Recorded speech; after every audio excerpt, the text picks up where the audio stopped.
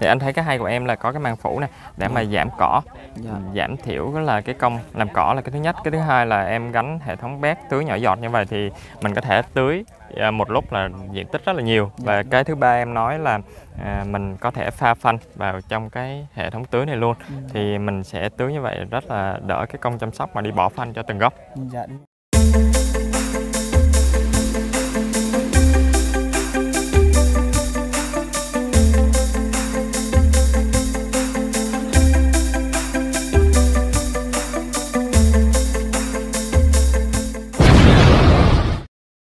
quý anh chị và các bạn đã quay trở lại với kênh Khởi nghiệp TV và trong chương trình ngày hôm nay thì à, có anh Phan Bảo Long này và có một số anh chị em à, để mà dẫn mọi người đi tham quan một số cái nông trại cũng như cái farm. Thì hiện tại thì à, bên mình đang à, ở một cái farm à, của bạn Tiến. Thì à, bây giờ mình à, cùng anh Long à, và mọi người sẽ dẫn các bạn à, đi à, tham quan cái vườn ớt này ha.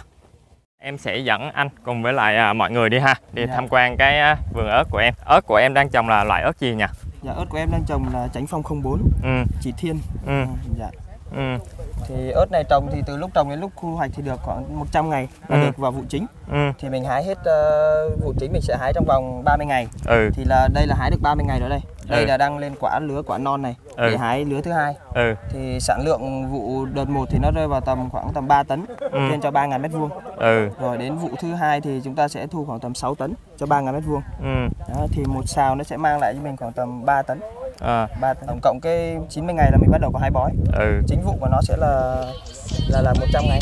ừ và sau mỗi lứa thu hoạch là bắt đầu em sẽ nhổ gốc và cải tạo trồng lại hả Dạ đúng rồi. Sau Ừ. mỗi lứa như này thì em sẽ đổi cây. ừ À, như hồi trước em trồng thì em trồng đây là trồng à, dưa leo, trồng mướp đắng. ừ Xong rồi em cho trồng bắp, ừ trồng bắp vào đây còn gốc bắp đây để ừ cho nó cải tạo đất. Xong Ừ. xuôi thì mình mới làm lại. ừ. Và cái cái cái giá mà hiện tại ở ngoài thị trường thì ớt là khoảng bao nhiêu một ký em Giá đầu mùa thì được tầm 70 ngàn. Ừ. Nhưng mà hiện tại thì giờ còn tầm 30 ngàn. Ừ. Dạ.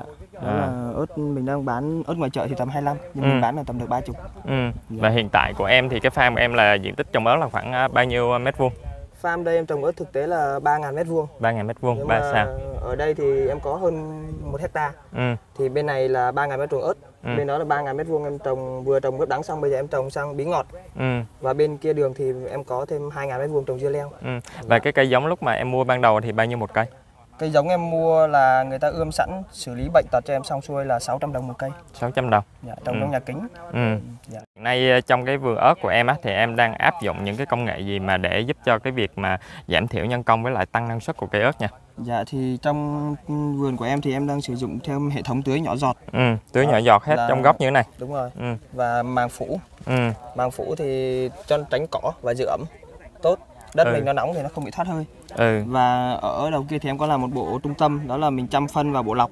Trước khi mình chăm phân thì chăm phân xong mình sẽ qua dàn hệ thống lọc. Ừ, thì lọc nó sẽ ra ngoài này nó sẽ không bị tắc Tắc tắc mát nhỏ giọt. Ừ, đó thì mỗi người ví dụ như là không có hệ thống tưới này thì một người phải mất một buổi có thể tưới được ba sào nhưng Ừ. mà hệ thống tưới áp dụng vô thì em bật một phát em tưới hết vườn còn người đó sẽ đi làm việc khác và Ừ. giảm thay vì mình tưới 3 tiếng đồng hồ mình chỉ Ừ. tưới có một tiếng nữa ừ, và mình chăm phân mình bỏ tay thì mình rất là mất công nhưng mà khi mình chăm bằng tự, tự động thì mình chỉ mất tầm 30 phút thôi. Đúng rồi, là mình đã chăm xong vườn mình rồi. Đúng rồi. và như vậy. mình cho ăn giống như con nít ăn á. Ừ. là ba ngày mình ăn một lần ba ngày cho ăn một lần. Ừ, thì ăn tới đâu là cây nó sẽ hấp thụ tới đó luôn. Ừ, đó như đây là cái đất này cái đây ba bốn năm về trước bố em có trồng ớt. Ừ, nhưng mà cái năng suất hết vụ nó chỉ một xào nó chỉ mang lại khoảng hơn một tấn thôi. Ừ, nhưng mà cái này em mới hái có một vụ mà nó đã đang một tấn rồi. Ừ, lứa thứ hai thì nó sẽ tầm gấp đôi nữa ok. năng tăng năng suất Thì anh thấy cái hay của em là có cái màng phủ này để mà giảm cỏ, dạ. giảm thiểu cái là cái công làm cỏ là cái thứ nhất, cái thứ hai là em gắn hệ thống bét tưới nhỏ giọt như vậy thì mình có thể tưới một lúc là diện tích rất là nhiều. Và cái thứ ba em nói là à, mình có thể pha phân vào trong cái hệ thống tưới này luôn. Thì mình sẽ tưới như vậy rất là đỡ cái công chăm sóc mà đi bỏ phân cho từng gốc dạ đúng rồi. Đúng không và còn vấn đề mà phòng trừ mà sâu bệnh với rầy rẹp á thì em đang áp dụng cái biện pháp nào để cho cây ớt của em nó hiệu quả? Anh thấy cái vườn ớt của nhà em thì hiện nay nó rất là xanh và nhiều trái như thế này và không có dấu hiệu của bị bệnh thì em đang áp dụng cái cách nào để mà mà à, chăm cái vườn ớt của em đẹp như thế này thì vườn ớt của em á, thì em sẽ chăm theo chính sách là phòng bệnh ừ thì là cứ định kỳ 3 ngày em sẽ phòng một lần ừ là em sẽ xịt thuốc ờ, sinh học biocata Ừ. À, nó là một hóa chất được ờ, lưu thông rộng rãi, người xịt và người đứng ở trên vườn không có độc. À. Đó, thì cứ em xịt phòng thôi. Ừ. Bệnh cây ớt thì nó chỉ có thán thư với lại nấm là Ừ. nhiều. Ừ. Thì bây giờ mình cứ tới ngày đến giờ mình xịt. Ừ. Đó, mình cho công nhân đi xịt ở đây. Ừ. Thì ở đây thì em có hai công nhân làm chính thức. Ừ. Tí nữa em cho anh cái tên thuốc để anh để cho bà con nếu mà bà con nào mà có yêu thích cái mô hình trồng ớt này thì có thể sử dụng cái thuốc đó cho nó an toàn về sức khỏe cho con người ha. Dạ. Hồi nãy em nói cái tên thuốc là gì nhỉ? Biocata. Biocata. Dạ. Ok. Thì à, tí nữa mình sẽ xin cái tên thuốc này để trên màn hình cho các bạn xem có thể là hiểu rõ để sau áp dụng cho cái mô hình à, ở nhà các bạn ha. Cảm ơn các bạn rất là nhiều.